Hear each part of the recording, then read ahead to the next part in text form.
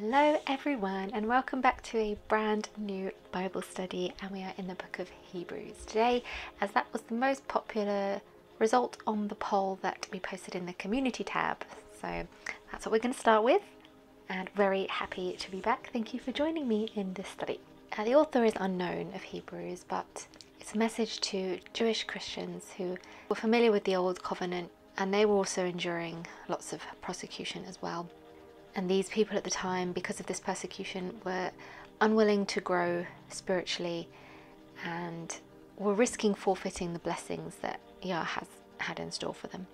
And so, this is a message to them to keep going and that following Christ is worth it. And so, this book is all about how Jesus is superior to the Old Testament sacrificial system and that following Jesus is worth it.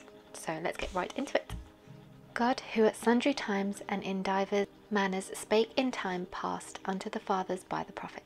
So, this is beginning by explaining how God spoke to the fathers of the faith a long time ago.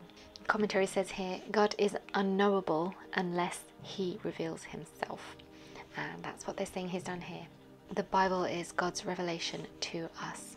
And obviously, in the past, he communicated in different ways through prophets and angels and animals, even, and now we have this precious word.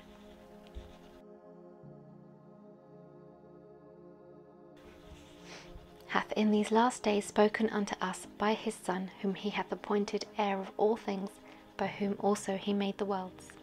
And so, before obviously he was speaking through prophets and other things, and now he's spoken to us through his Son Jesus. And the New Testament days, these last days, is basically everything from Christ being born into the world and his second coming. So we are now in the New Testament days. So this is relevant to us as well. So Jesus is his son and he's the incarnate revelation of God himself. He is God's final word on everything. He is the heir of all things. He is the creative power of God. God made the universe through Jesus. He spoke the world into existence through his word, Jesus. So Jesus is God.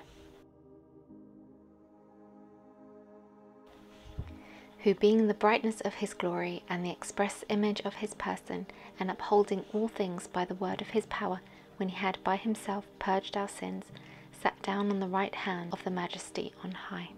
So, Jesus the Son is also the brightness of his glory. He is the express image of his person.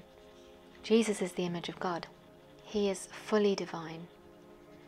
He cannot be the exact expression of God without being God himself.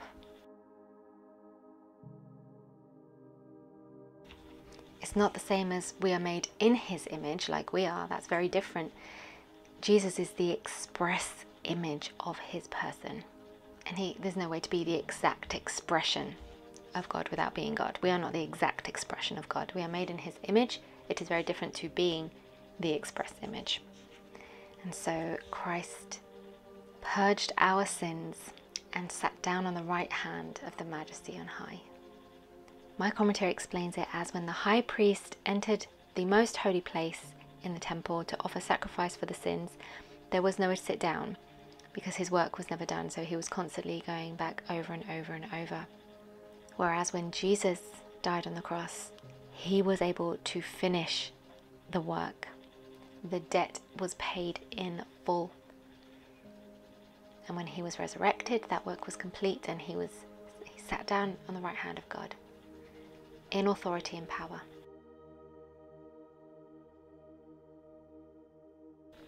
All right, let's keep going being made so much better than the angels, as he hath by inheritance obtained a more excellent name than they. So Jesus is obviously much more superior to the angels. The commentaries kind of put this all into perspective. He said, God made humans lower than the angels, but he crowned them with glory and honor. And he made humans to rule the earth and manifest God's rule in history. But when Adam sinned, he rebelled against God's rule and so Satan became a god of the age, and the world needs claiming back. So, who could claim it? It had to be a human. That was God's plan from the beginning. But sinful humans were under the authority of the devil, And so the only one who could save us is the last Adam, Jesus. He was perfectly, perfectly righteous, he was not under Satan's authority, but he had to become human in order to be the ultimate sacrifice to save us from Satan. Jesus is the Son. He is both the Son of God, the Son of Man. He is both divine and he's both human. For unto which the angels said he at any time, Thou art my Son, this day have I begotten thee. And again, I will be to him a father, and he shall be to me a son.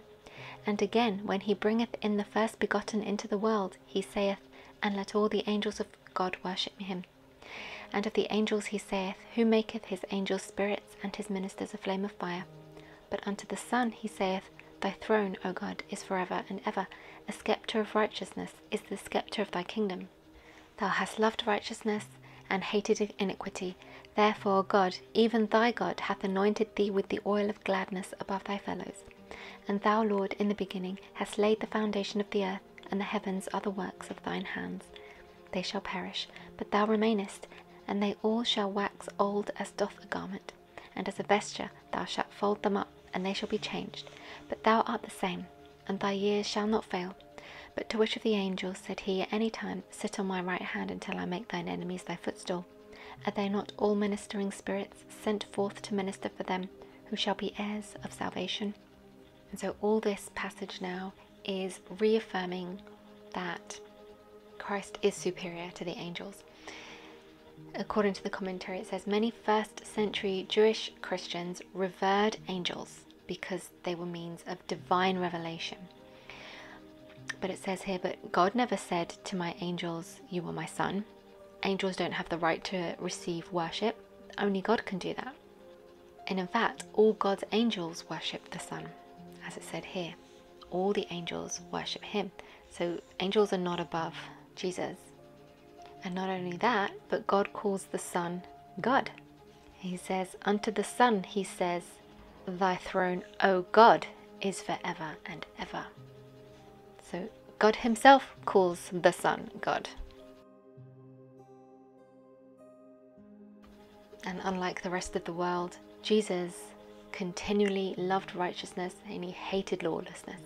He is the everlasting creator of the heavens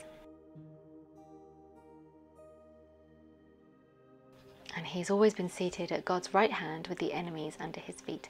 Angels are just spirits who serve those who are going to inherit salvation, i.e., us. Angels serve us, the saved. So, commentary saying here Christ himself had to inherit a name, even though he was an appointed heir. We are heirs by grace. However, our participation with Christ determines the the benefits and privileges that we get in the kingdom. So while our salvation isn't going to be lost if we are truly saved, that is, we still can earn great rewards in heaven through our works here because their works are a demonstration of our faith, but it's not affecting our salvation. So there we go. What an amazing start to Hebrews and a wonderful explanation how Jesus is God. So let's summarize what we read. So God has spoken through his son and we know his son is God's word. So that's all it all fits in together so beautifully. And he has revealed himself in the past through prophets, through angel of the Lord, and now he's revealed himself through his word, the Bible. And of course, ultimately through Jesus Christ, who is his word, as we've already said. His word, this is his word, his word is Jesus. And Jesus, everything was made through Jesus, his word. Obviously, God spoke the word into exist the world into existence. Jesus is the word. And Jesus is the brightness of his glory. He is the express image of his person. And he is the one who purged our sins and is now sitting on the right hand in heaven. And God had to become man to save us because our sin led us to be under Satan's rule, basically. And the only way we can beat that is through the blood sacrifice of the perfect, spotless Lamb, and that is through Jesus. And the angels are significantly inferior to Jesus, and that had to be taught to the early Jewish Christians because they really had angels as high regard because they had been messengers of God, I suppose. But he's he's trying to say here, no, Jesus is who we need to be following now. Jesus is who we need to be putting in much higher esteem because he is God. God never said to the angels, You are my son, I have begotten thee. And in fact, all the angels worship him. And God calls his calls his son God here as well. Unto the Son he saith, Thy throne, O God, is forever and ever. Jesus is eternal. He lives forever. He is God. Jesus loved righteousness and hated iniquity. No man on earth can say that, that he never sinned, aside from Jesus, who is fully man and fully God. Everything will fade away but Jesus. Jesus lives forever. Angels are simply sent to serve those saved through Jesus, those saved believers. So there we go. Wonderful start to Hebrews and excellent affirmation and confirmation that Jesus is God and he's the one who should, we should be following. He's the one who saved our sins. He is God manifest in the flesh, came down as a man to die for our sins, and he lives forever now and forevermore. So thank you for joining me. Please do leave any thoughts, takeaways, and comments you've got in the section below. I love reading your comments. It means so much to me that you take the effort to write something, and I remember everyone who does. So thank you so much for your engagement. Remember, Jesus loves you so much. Lord willing, I'll speak to you really soon, and until then, have a blessed day. Bye. Jewish. Okay, let's actually make a note of what I said before. Let's highlight some things. Don't know if I want to keep that bit in. Probably